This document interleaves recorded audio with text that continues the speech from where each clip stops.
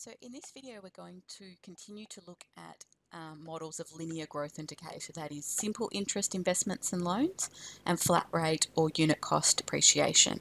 But what we want to do um, in this video is to look at being able to come up with a rule to describe that. Okay, we want to make this distinction between the recurrence relation and the rule.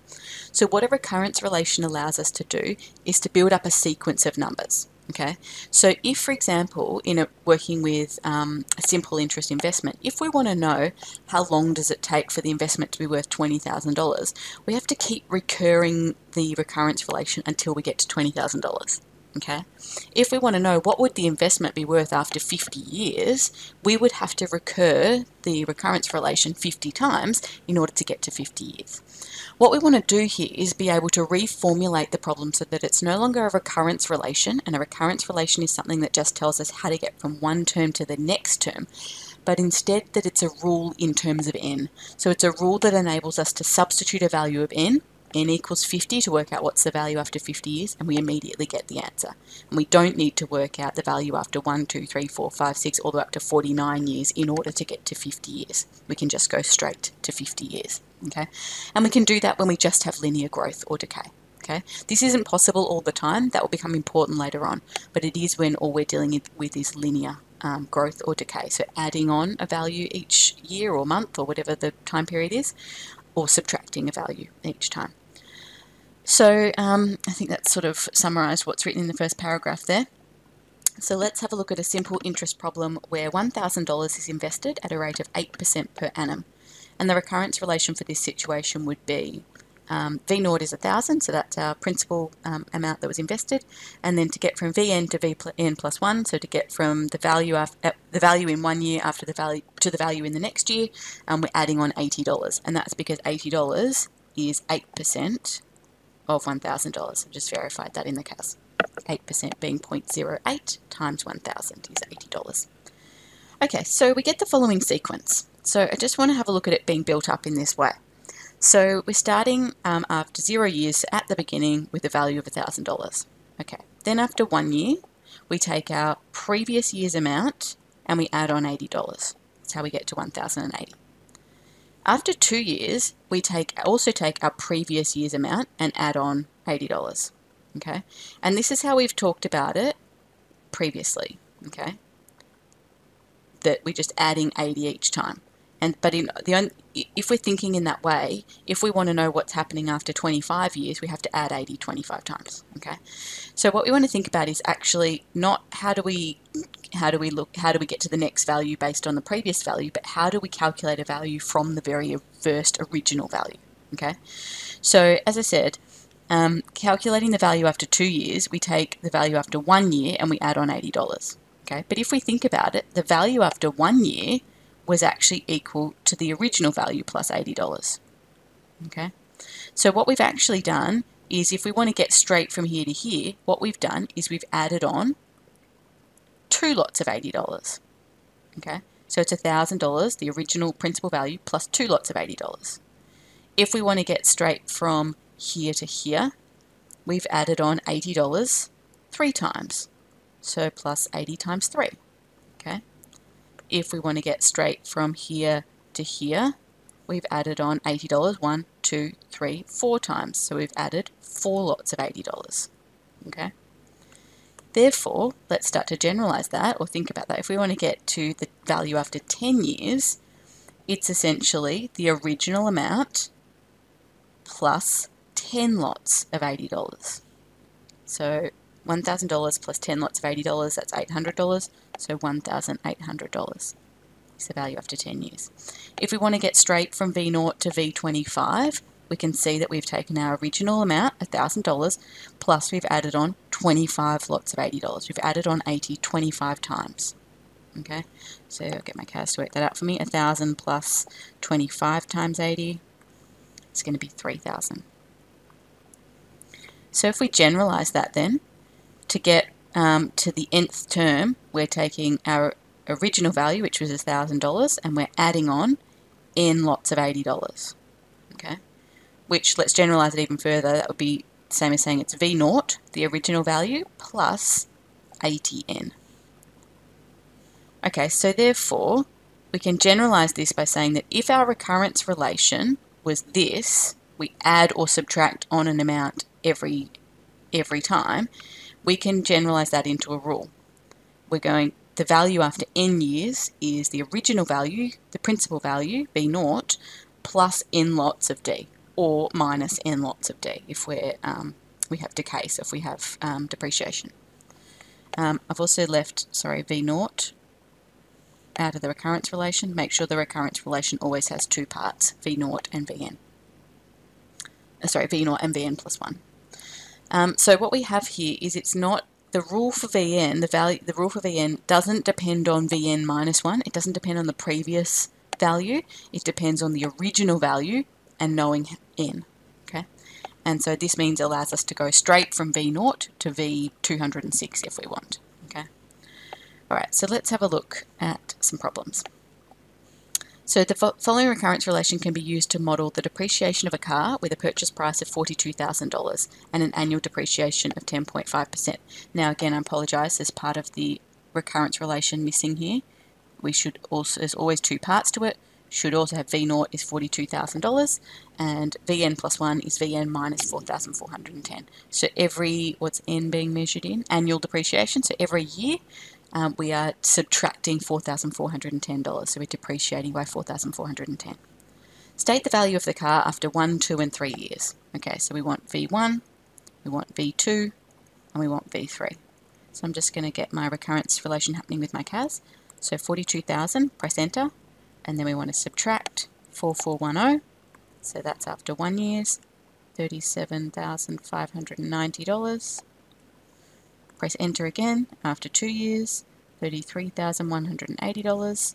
Enter again after three years, $28,770.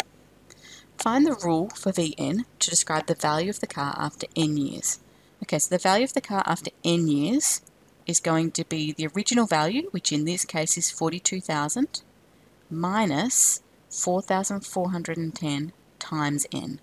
Okay, we multiply 4,410 by n, that's the total amount that's going to be subtracted over a period of n years. So then we want to calculate the value of the car after six years, so that is V6. So we don't need to use our recurrence relation to get to 6. Okay, we could. We've got V3, 4, 5, 6, because I have got it started. We would expect it to be that. So let's check that our rule works then. So 42,000 minus $4,410 times 6 so we're subtracting $4,410 six times. Um, and so let's just check that that gives us the same answer our recurrence relation did. 42,000 minus 4410 times 6 is indeed the same as what we got with the recurrence relation. So one $15,540. After how many years will the value of the car be less than half of its original value? Okay, so this time we can solve an equation rather than having to keep recurring until it gets to less than 21,000, although we've actually already got past that point here, we can now solve. So we want to know when is the value uh, less than 21,000, which is half. Okay. So therefore we want in our rule, here's our rule here, in part B, we now want the value to be 21,000 and work out what will n be when the value is 21,000. Okay, so the equation we're solving here is we're making the value equal 21,000 and we know that the value is described by 42,000 minus 4410n and we can get our CAS to solve that equation for n. So solve 21,000 equals 42,000 minus 4410 times n, comma n to solve for n. Oops, control enter. Okay, so it will tell me that n is about 4.76. Okay, so you need to decide whether you round up to 5 or down to 4. And you should always be rounding up because we want the value of the card to be less than half. So even if this was 4.12, we would round up to 5. Because if we looked at finding what's the value after four years, be 42,000 minus 4410 times 4, it's still a bit more than 21,000, okay? And that would be true even if this number rounded, this number was less than 4.5, okay? Um, and then if I look at what happens after five years, that's the first year that the value will actually be less than um, 21,000. So therefore, it's going to be after five years. So make sure you answer the question. Um, it will take five years for the value to first be less than 21,000, which is less than half of the original value. Um, I'm not going to go into that. I think if you are a student that also does methods, uh, making use of defining functions could be a helpful or efficient thing to do on occasion, but to be honest, um, in further maths it's actually not really that necessary, and so I'm not going to touch on that. It's um, beyond the scope of what a straight further student needs to understand. Um, example 2, the value of an investment um, after n years, Vn, can be calculated from the rule Vn equals 4,200 plus 357n. How much was initially invested? Okay, so we essentially want to know what V naught is. We should be able to see it in the rule, but you can your rule will work if you substitute in n equals 0, it's 357 times 0, and so it's just $4,200. If you understand where the rules come from, you should be able to tell that that's your initial value. By what dollar amount does the investment increase each year? So we add on 357 times the number of years. So every year, for example, if it was after one year, we would have added on $357. So we can see that in the rule as well. As I said, you could use the rule, you could work out V1 and then work out how much was added on, but you really should be able to see and understand in the formula that that's what you're adding on each year. What is the rate of simple interest? Okay, so we want to know that's our um, annual interest, that's our principal value, so we want to know what percentage is 357 out of 4,200 multiplied by 100% to change it to a percentage. So 357 divided by 4,200 times it by 100, control enter, so it's 8.5% increase per year. $357 is 8.5% of $4,200. Find the value of the investment after eight years. Okay, so we've got our formula that lets us go straight to eight years. We don't need to um, use the recurrence relation. So value after eight years, we're just substituting n equals 8 into our formula. So 40, uh, 4,200 plus 357 times 8. So over the course of eight years, we've started with our principal amount and we've added on $357 eight times. And we have, at this point, $7,056. After how many years will the value of the investment exceed $20,000? So again, let's try this by making solving an equation. So let's make, sorry, let's make the value 20,000 and solve the equation to find what n is. Okay, so we're going to have 20,000 is equal to 4,200 plus 357n. We're going to get our CAS to solve that for n. 20,000 equals 4,200 plus 357 times n, comma n to solve for n. Oops, control enter. So we find that n is approximately 44.26. Now, if you were to just round that to the nearest whole number, it would be 44. But let's substitute 44 back into our equation. So 4,200 plus 357 times 44. Um, we're not quite past $20,000 if we round down to 44 years. So therefore we need to round, always need to round up in these cases but I want you to be careful about just thinking I always round up and forgetting why or what's happening. So think clearly about what it is that you need and why, which way you need to round. So in this case, we would need to round up to 45 years to make sure that the value exceeds $20,000. Okay, so therefore, after 45 years. Okay, example three, final example for this video. Um, a photocopier is purchased for $8,600 and depreciates at a rate of 22 cents for every 100 copies made.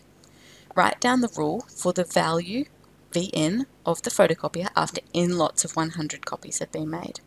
Okay, so our value after n lots of 100 copies will be the original value, 8,600, minus we're losing 22 cents, 0.22 for every n where n is 100 copies. Okay. In the first year of use, 400,000 copies are made and in the second year, 4,800 copies are made. Find the depreciation in the first year. Okay, so in the first year is V0 to V1. It's really important that we understand that, okay? So we know that in the first year of use, there were 400,000 copies made, okay? So 400,000 copies means, let's divide that by 100, means that n is 4,000. Okay, 4,000 times 100, because um, n is per 100 copies, um, would be 400,000 copies. Okay, so we're looking at when n, we know that over the course of the first year, n equals 4,000. So we can work out um, value after 4,000, which is the first year. Sorry, value after 4,000 lots of 100 copies. So that's 8,600 minus 0.22 times 4,000, 8,600 minus, and sorry, I'm going to delete that V0 to V1 because it's not V0 to V1. In this case, it's V0 to V after one year, which is V4000. Okay. Um, because N is not counting in years, it's counting in copies. We're looking at unit cost depreciation here. Alright, so we're calculating this. So 0.22 times 4,000 Okay, so in the first year, um, ah, now let's be careful here. I've worked out the value, I could have done this differently.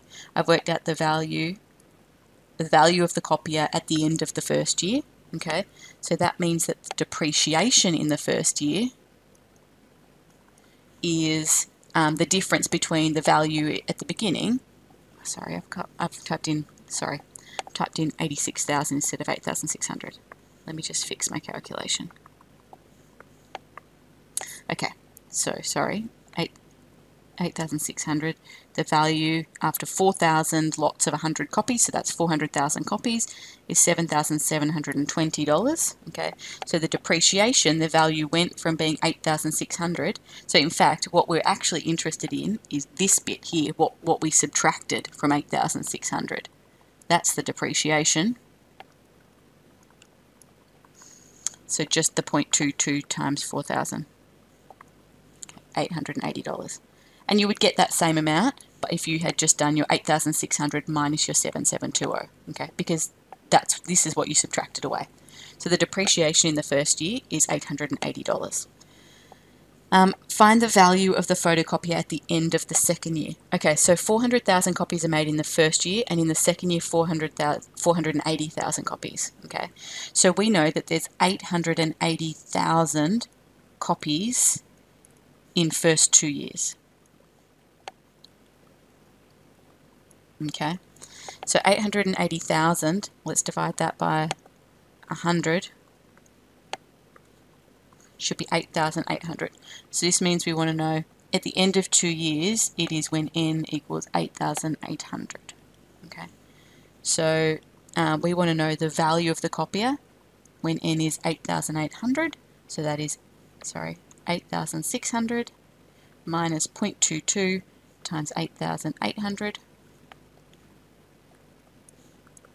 Okay, so 8,600 minus 0.22 times 8,800, which is um, n when the number of copies is 880,000. And so the value at the end of the second year is $6,664. Okay, so the work today is from exercise 8D.